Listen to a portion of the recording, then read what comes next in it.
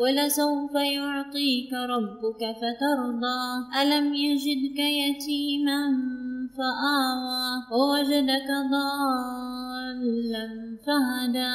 ووجدك عائلا خير ما نبدأ به. بسم الله الرحمن الرحيم. والصلاة والسلام على أشرف الأنبياء والمرسلين سيدنا محمد وعلى آله وصحبه أجمعين.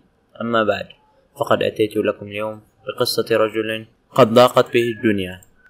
كان هناك رجل قست عليه الدنيا فبلغ من الهم والديون والأحزان ما بلغ حتى أثقلت كاحله فصار يجلس أمام منزله حزينا ولا يكلم أحد ولا يريد الجواب على أحد. وفي يوم من الأيام فإذا برجل يمر فوجده جالسا أمام بيته فرأف بحاله وأتى إليه وقال له السلام عليكم ورحمة الله وبركاته. فلم يجب. فقال أخي أنت لا تسمع؟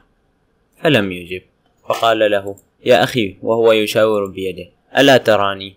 فلم يجب. فاقترب إليه وهزه فأجابه منزعجا ماذا تريد؟ فقال له ألقيت عليك السلام فلم تجبني.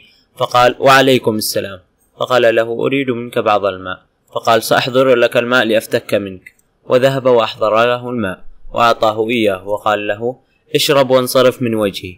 فقال لا حول ولا قوة إلا بالله. ما بك يا أخي؟ فقال له ماذا تريد؟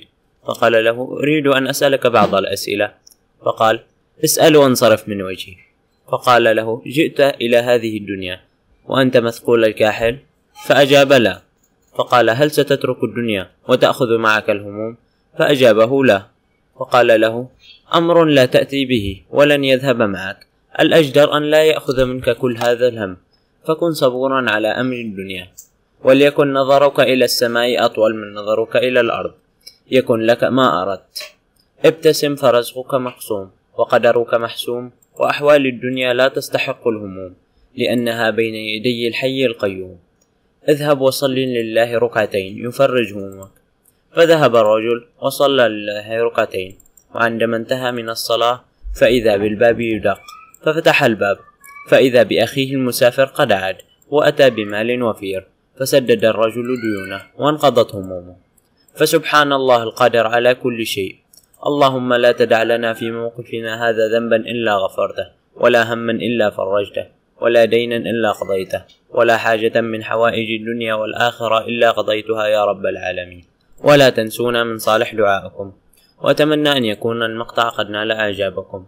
ولا تنسوا نشر المقطع لكي تعم الفائدة والأجر. والسلام عليكم ورحمة الله وبركاته. إن أعجبك الفيديو لا تنسى الإعجاب والاشتراك في القناة ليصلك كل جديد. وانشر المقطع ليعم الأجر والفائدة للجميع. ولا تنسونا من آرائكم وتعليقاتكم. ونحن نحترم آراءكم وتعليقاتكم. ونأخذها بحامل الجد. وشكرا. وجزاكم الله خيرا.